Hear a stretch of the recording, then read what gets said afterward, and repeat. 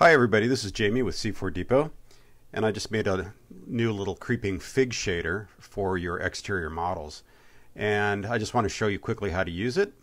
Uh, when you open it up this is what you'll see and the uh, shader consists of a base layer of textures and some skins that are over that that's actually uh, geometry that um, the leaves go onto.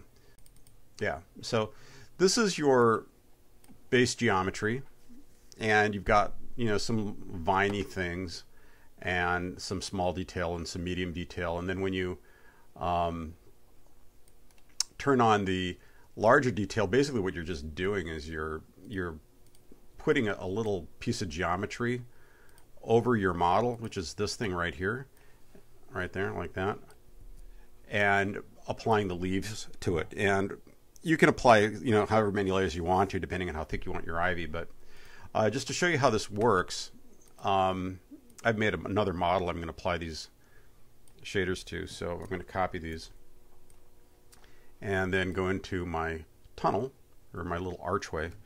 And I'm just going to paste these in here. And um, I've already made a selection tag for the part of this structure where I want to apply the shader. So I'm just going to take these and just like drop them right on there. Okay. And it's, I think it's best to have the vines on the bottom layer and then your medium and then your large detail, but you know, probably doesn't really make, make that much of a difference. But if you do a um, quick render, you'll see it looks kind of like okay. I mean, I think that um, you're going to have to adjust the uh, scaling of this. And so let me just go into the medium detail for a second. And I think what I want to do is I want to adjust this global scale on this bump map to something a little bit smaller, like 30, and see if that looks a little bit more like fig leaves. Yeah, see, look at that. Okay, so you're going to have to, you know, maybe do a little bit of fiddling with it depending on the scale of your of your model. So uh, you know, I've actually that kind of looks okay. I mean, you know, it's there's there's nothing wrong with just doing that. It depends on you know what you're what you're doing. However, um, I've also made this other uh, piece of geometry. It's um, this cube here. Okay, so me turn this piece of geometry on, and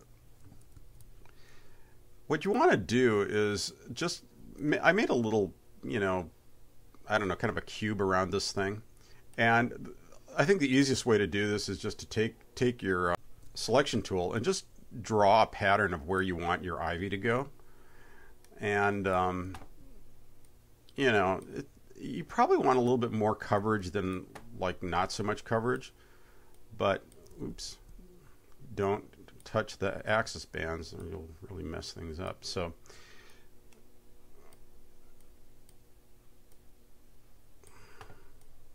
This really doesn't take a whole lot of time, but you know, you can do this to your heart's content.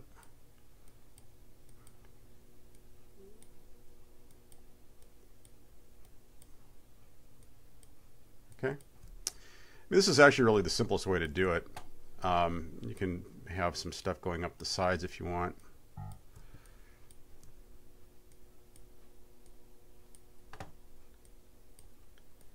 Okay.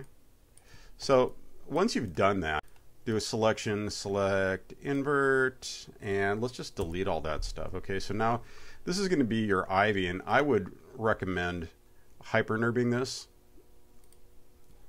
Okay, so let's go back to the um, creeping fig shader and copy these leaves. And we're going to paste them. We're just going to plop these things right on there. Yeah, they look a little big. Let's just, you know, reduce it here. Like, just make it about half as big. See what happens. All right. Now let's just do a quick render and see what we got. Okay, well that's our first render pass, and it looks like the scaling's off and our displacement's off. So uh, let's go into the leaf shader, and I'm going to um, reduce the strength of this by about half as much. And um, I want to go back into this tag, the selection tag, and reduce this these leaves even further.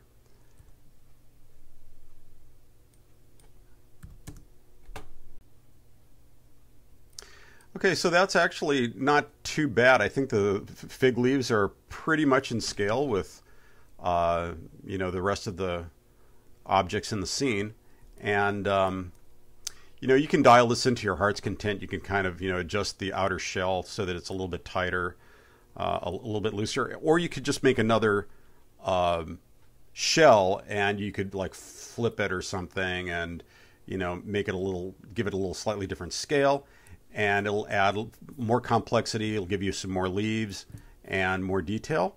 And, you know, there you go. It's uh, not really too much work uh, to just add ivy or creeping figs to a outdoor structure. And I, I hope you like the shader. It's totally free. Just go to c4depot.com, go to the free stuff section, and it's right there. Uh, as of today, it's at the top of the page. So thanks a lot. This is Jamie with C4 Depot. Take care and see you later. Bye now.